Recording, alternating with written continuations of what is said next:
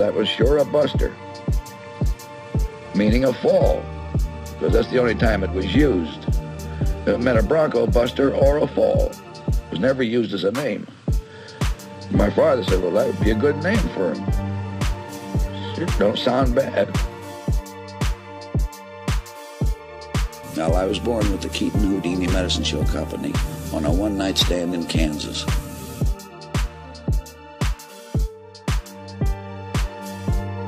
This is a, shock to anybody that's in the motion picture business today.